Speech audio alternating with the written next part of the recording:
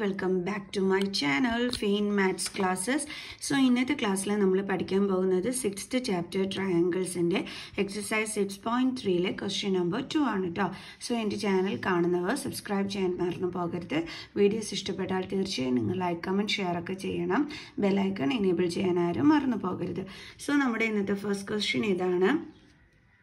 In figure 6.35, triangle ODC con, uh, similar to triangle OBA. Then angle BOC is equal to 125 degree and angle CDO is equal to 70 degree. Find angle DOC, angle DCO and angle OAB. അതായത് നമ്മളടുത്ത് പറഞ്ഞിരിക്കുന്നത് ഇവിടെ രണ്ട് triangles ഉണ്ട് അതായത് triangle O D C അതേപോലെ തന്നെ triangle O B A ഈ രണ്ട് ട്രയാങ്കിൾസും എന്താണെന്നാണ് പറഞ്ഞിരിക്കുന്നത് സിമിലർ ട്രയാങ്കിൾസ് ആണെന്നാണ് പറഞ്ഞിരിക്കുന്നത്. എന്നിട്ട് നമുക്ക് ആംഗിൾ ബി ഒ സി അത് എത്രയാണെന്ന് തന്നിട്ടുണ്ട്? വൺ ട്വന്റി ഫൈവ് എന്ന് തന്നിട്ടുണ്ട്. അതേപോലെ C D O C D O ദാ ഇത് സെവന്റി ആണെന്ന് തന്നിട്ടുണ്ട്. എന്തൊക്കെ കണ്ടുപിടിക്കണം നമുക്ക്? ദൈ ഡി ഒ സി കണ്ടുപിടിക്കണം. അതേപോലെ തന്നെ ഡി സി ഒ കണ്ടുപിടിക്കണം. ദാ ഇത് കണ്ടുപിടിക്കണം. അതേപോലെ തന്നെ ഒ ഇ ബി ദാ ഇതും കണ്ടുപിടിക്കണം. അപ്പം മിസ് ഈ സ്കെച്ച് വെച്ച് മാർക്ക് ചെയ്തിരിക്കുന്ന ഈ മൂന്ന് കാര്യങ്ങൾ ഈ മൂന്ന് ആംഗിൾസും വേണം നമ്മളിവിടെ കണ്ടുപിടിക്കാനായിട്ട്.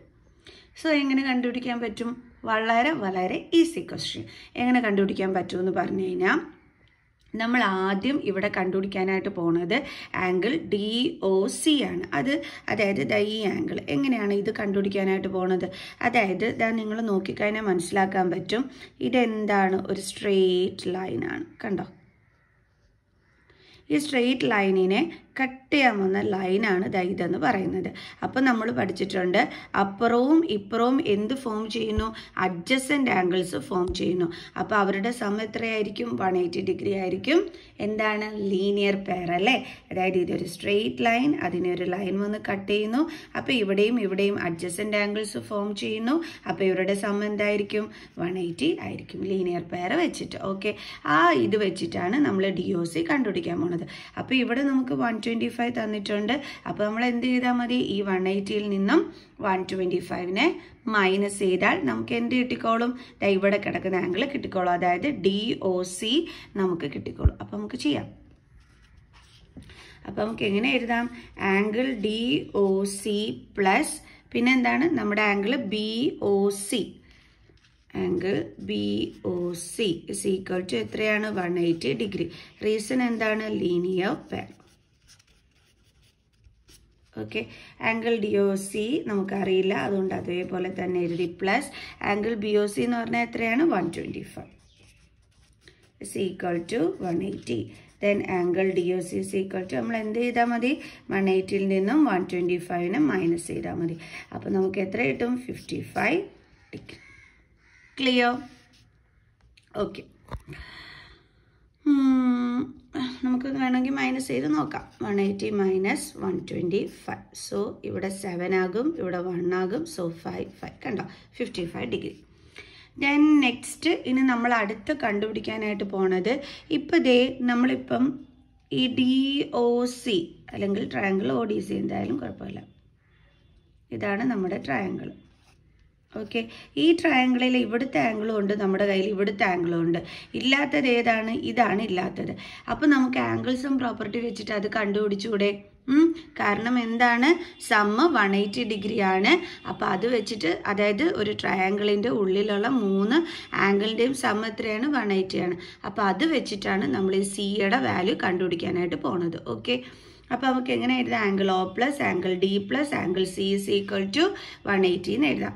ഏത് ട്രയാങ്കിളാണ് നമ്മൾ എടുക്കുന്നത്? ട്രയാങ്കിൾ ഒ ഡി സി അപ്പോൾ in triangle O D C എങ്ങനെയാണ് നമ്മൾ എഴുതുന്നത്? Angle O plus angle D plus angle C is equal to one eighty degree reason എന്താണ്? ആംഗിൾസും property of a triangle of a triangle okay അപ്പോൾ angle O എത്രയാണ് നമുക്ക് കിട്ടി? Fifty five അല്ലേ? ഇതാ ഡി ഒ സി എന്ന് പറഞ്ഞു കഴിഞ്ഞാൽ അത് ഏത് ആംഗിളാണ് ഫിഫ്റ്റി ഫൈവ് ഡിഗ്രി. നടുക്കത്തെ ലെറ്റർ നോക്കിയാൽ മതി. അപ്പോൾ കറക്റ്റായിട്ട് നിങ്ങൾക്ക് മനസ്സിലാക്കാൻ പറ്റും ഏത് ആംഗിളാണെന്ന് fifty five plus angle D എത്രയാണ്? സെവന്റി ആംഗിൾ സി അറിയില്ല. Is equal to one eighty degree okay fifty five plus seventy is one twenty five plus angle C is equal to 180. Then angle C is equal to 180 minus 125 is equal to എത്രയായിട്ട് നമുക്ക്? 55 degree ഇനി ഈ angle C എന്ന് പറഞ്ഞാൽ നമുക്ക് അതിന്റെ full name ഒന്ന് എടുത്തെഴുതാം angle C ഇടാം അതെങ്ങനെയാണ് നമ്മൾ ഫുൾ നെയിം എഴുതേണ്ടുള്ളത് സി നടുക്ക് വരണം അല്ലേ? ആ രീതിയിൽ വേണം നമ്മൾ ആംഗിളിന് നെയിം ഫോം ചെയ്യാനായിട്ട്. അപ്പോൾ നമുക്ക് എങ്ങനെ എഴുതാം? ഡി സി ഒ അങ്ങനെ നമുക്ക് പേര് കൊടുത്തൂടെ അപ്പോൾ നമുക്ക് എഴുതാം. Angle D C O is equal to fifty five degree. നമ്മളെടുത്ത angle D C O ആയിരുന്നു കണ്ടുപിടിക്കാൻ പറഞ്ഞിരുന്നേ.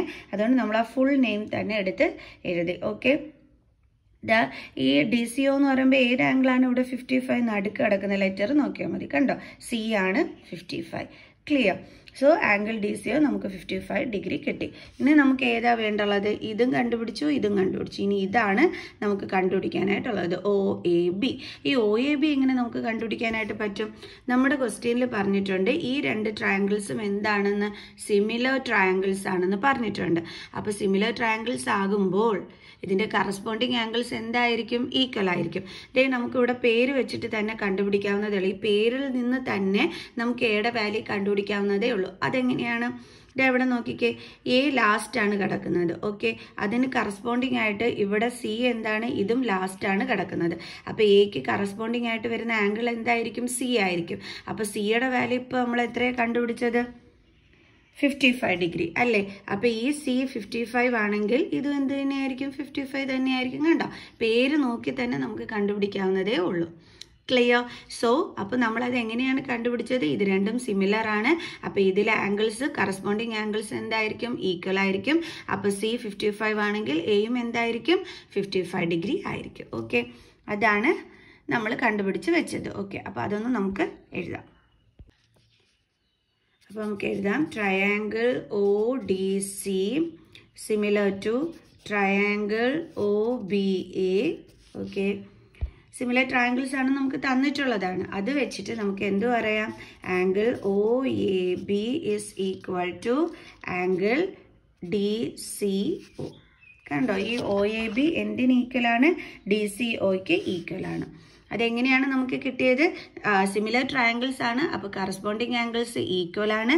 അപ്പോൾ ഇതിന് കറസ്പോണ്ടിങ് ആയിട്ട് വരുന്ന ആംഗിൾ നമുക്ക് പേരിൽ നോക്കിയപ്പോഴേ മനസ്സിലായി സി ആണെന്ന്. കാരണം ഇത് ലാസ്റ്റ് കിടക്കുന്നു സിയും ലാസ്റ്റ് കിടക്കുന്നു. അപ്പോൾ ഇതിന് കറസ്പോണ്ടിങ് എന്തായിരിക്കും?